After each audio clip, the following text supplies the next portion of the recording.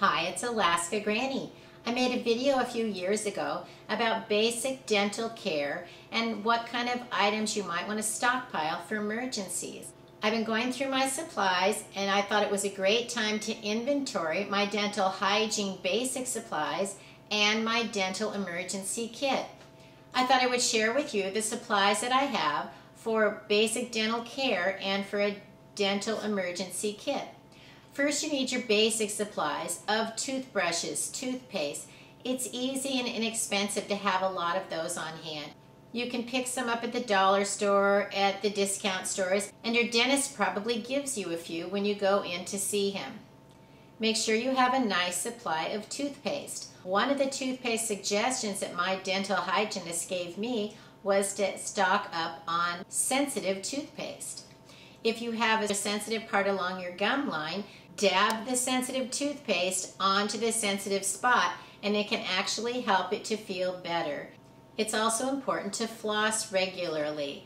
You can use string type floss or the floss picks. Find the one that's easiest for you to use and then have a few extras of those. Plus, just having dental floss is a great way to have cordage that's lightweight, it's super strong, and it can be used for a lot of other things. So I highly recommend that you stock up on dental floss. If there are places in your mouth that are hard to get clean, look for Proxabrush or dental brushes. They're tiny little brushes that you can reach into places between your teeth and gums, even into the back of your mouth, and can help clean out places that are hard to reach.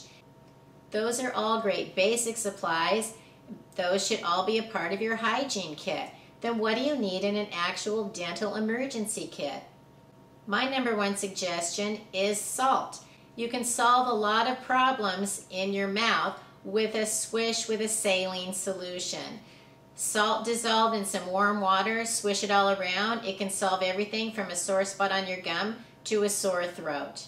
Having a small container of salt in your dental emergency kit helps you not only to remember that salt water works great, but it also has it in a place that you need it in times of emergency. Peroxide also is good for swishing around in your mouth or dabbing it onto a sore spot on your gum, but overuse of it can actually be harmful. So you might want to consider getting something like a peroxyl rinse. It has the correct proportions to heal and soothe any sores or issues that you might have in your gums or in your mouth. Petroleum jelly and lip balm are also nice to have because if the areas around your lips and mouth become too dried out, they can crack. Soothe and protect your lips and around your mouth to try to prevent some of these emergencies from happening. Then in the event that you did have an emergency, say a tooth came loose or a crown fell out, you can use petroleum jelly to seal off that portion until you have a chance to get to the dentist for a dental emergency. Another item that's great for emergencies is a DenTek emergency kit.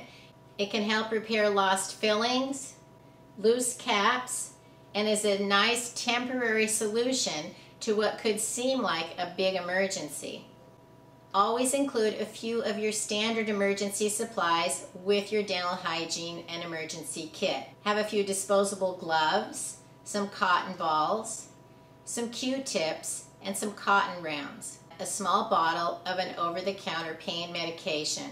We know that we have a lot of these supplies on hand, but sometimes having them in place when you have a dental emergency, you can pull out your dental emergency kit and you have everything on hand. Putting together a dental hygiene and emergency kit helps you be prepared to face whatever comes your way.